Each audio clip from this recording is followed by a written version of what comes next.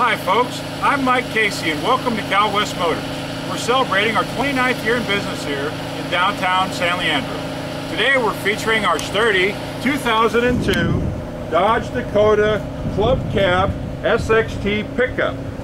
It features bright silver clear coat paint, it's four-wheel drive, and has only 74,000 miles. It has factory alloy wheels, new Michelin tires, a powerful, economical, and sturdy 3.9 liter V6 engine. It has a tow package, a factory CD stereo system, cold factory air conditioning, and more. And remember, only 74,000 miles.